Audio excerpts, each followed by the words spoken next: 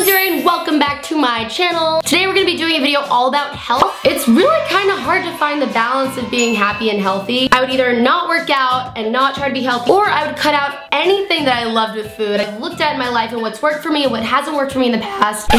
oh my boy going through puberty. My voice is changing. Great. So I wanna really connect with you guys. I want you to join me on this journey, so to say. It would really mean a lot to me if we could do this together to have some support. I don't know if you guys need it. Y'all could be perfect and I'm just over here like, please help me. I need some help up in this bitch. Also last week I challenged you guys to get our video to 500 likes and you did it. So I'm gonna challenge you this week to get it to 514 likes. So let me know in the comments below if you're gonna try to be healthy with me. I'm gonna document it on social media. Let's just get on into the video which is how to be healthy when you love food. Oh, I'm probably gonna eat so bad.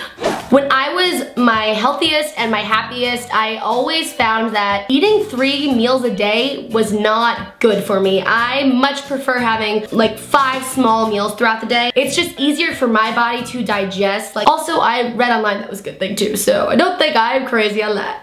Tip numero two, I try to exercise at least three times a week. Sometimes we just don't feel like working out. Sometimes you just wanna sit in bed. Or maybe you wanna watch all of Jessica Jones. It's okay, this is 2016. This isn't new. People like to binge Netflix and don't wanna go outside or be social. If you are a foodie like me and you hear the word diet, you want to run in the other direction. My tip to you is to just not deprive yourself. And what works for me is not to have one cheat day. Say I'm at the salad bar at Whole Foods and I fill my whole thing up with salad, but I see mac and cheese is on the other side of the bar, I'll have mostly salad and then like a dollop of mac and cheese. Dark chocolate really satisfies like my sweet tooth craving and this one company, JoJo's, sent me actually a whole thing of dark chocolate. It's got all natural casein protein, cranberries, almonds, and pistachios. Seven servings per container and 155 calories per serving.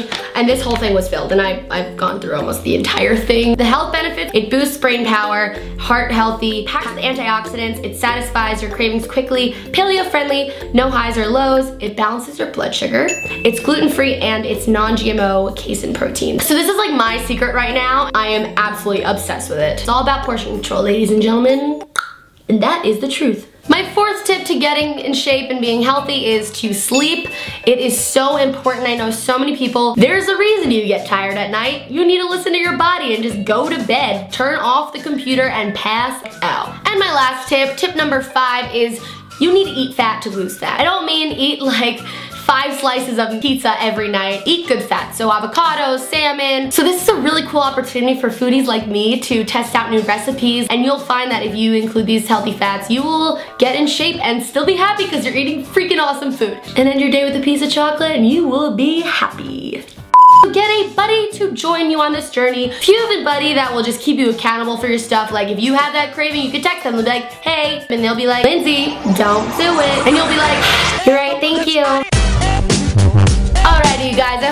enjoyed these tips. If you enjoyed this video and you haven't yet subscribed, hey, you should. Also, Drunk Pinterest is premiering next, so make sure you subscribe so you get a notification when that video gets uploaded. I am so freaking, I love you guys. I'll see you in the next video, and um, bye.